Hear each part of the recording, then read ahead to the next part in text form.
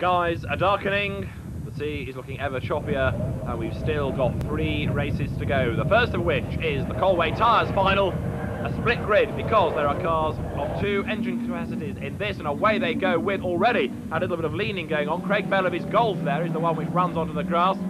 Meantime, the leaders make their way uphill with, in the lead at the moment, 8-10, that's Paul Gee. Vauxhall Astra is the car in the lead. Chasing on after him in second place is Andy Reid. And downhill they go for the first time. Paul Gee from Andy Reid and then Craig Bellaby in third in the Mark II Volkswagen Golf GTI. The cars bounce their way across the loose. Colway Tyres Championship, a low-cost way of getting involved in rallycross.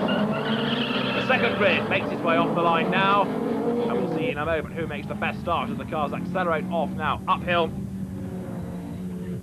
Paul Gee it is in the lead of the first grid that we've seen, and there his brother John Gee in 866 leads as his car now makes its way up to the hairpin. Hard on the brakes. Look at the way that the rear wheels lock up. Lots of smoke off the tyres, and somebody else there running wide coming into the corner. That's Ian Watson with his Vauxhall Nova.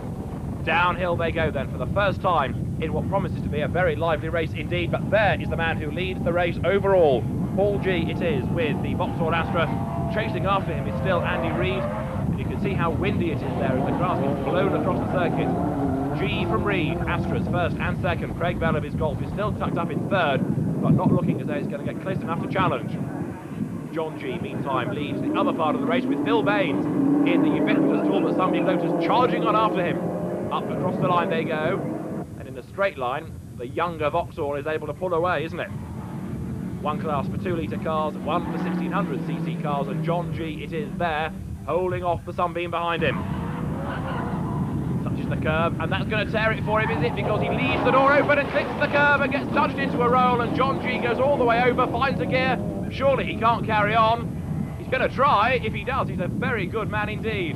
John Gee hoping to rejoin the race. Now, here's what happened. Look, he went wide, came in, there was a touch between the two cars, then he clipped the curb, and a combination of the and the curbing launches John Gee into a roll. The car doesn't look too badly damaged. The suspension, though, will have taken the knock as his brother, namely Gee, comes home to win. Second across the line is Andy Reid, and Craig Bellaby takes third. Well, a different day for the Gee family.